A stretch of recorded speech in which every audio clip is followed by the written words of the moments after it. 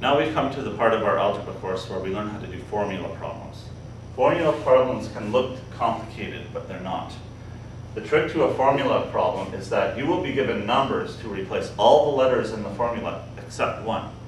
Once you plug the numbers in, you will only have one letter left, and it'll look like any of the other algebra equations that you've solved in this course. Plug all the numbers into their places, then solve with algebra to find the only remaining variable. In example one, it is negative 8 degrees Celsius right now. What is the temperature in Fahrenheit? We're given the number negative 8, and it will go in the position of this C in the formula. So we write negative 8 over 5 equals F minus 32 over 9. It's a proportion, top times bottom equals bottom times top.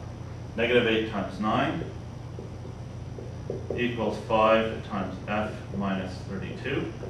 Now we simplify. Negative 8 times 9 is negative 72. 5 times f is 5f. 5 times negative 32 is minus 160. Let's move the 160 to the other side. Negative 72 plus 160 equals 5f.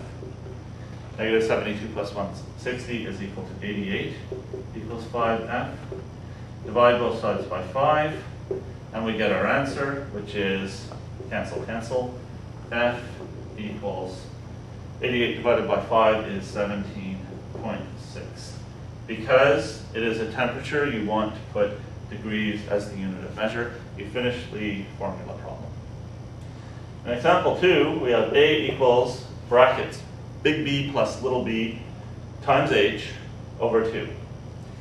We are given A equals 30, little b equals 6, and big B equals 9 in this diagram, and they are saying, what is h? So we replace the letters with all the numbers we're given.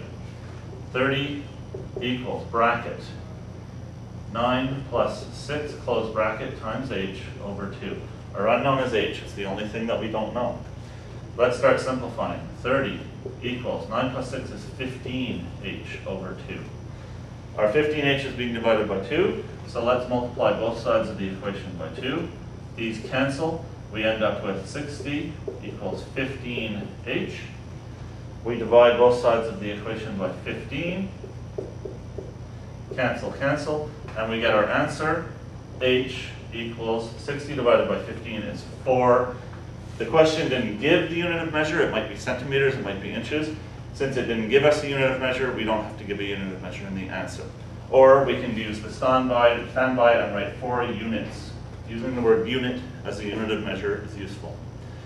This is how you do formula problems. All you have to do is replace all the letters in the formula except one, which is the unknown they're asking for, with the numbers they give you, and then use the skills of algebra we've developed in this course to simplify and isolate that variable. If there's a unit of measure, don't forget to apply it, and you have an easy 5 marks or 10 marks. Now it's time to practice. Use the exercise sheet to do some formula problems, and then use the answer sheet to correct your own work.